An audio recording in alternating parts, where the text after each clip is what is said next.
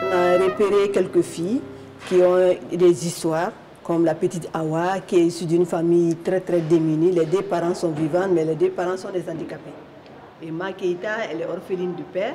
Et elle voulait coûte que coûte aller à l'école. Elle était vendeuse ambulante des citrons, des menthes. C'est elle-même qui est venue d'elle en vendant un jour le citron chez nous.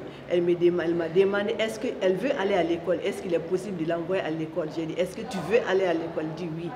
Donc du coup, j'ai vu que c'est une fille très très motivée. J'ai dit, mais pourquoi tu veux aller à l'école? Elle dit, je veux aller à l'école pour être infirmière. Chez nous, en, Bamara, on dit Dorotoro. Donc elle veut devenir Dorotoro. J'ai dit, il n'y a pas de souci. Si tu es motivée, moi aussi je vais t'aider. Moi, j'avais 13 ans à l'époque. Donc, euh, comme elle était motivée, on a commencé à l'alphabétiser. Aujourd'hui, elle est infirmière.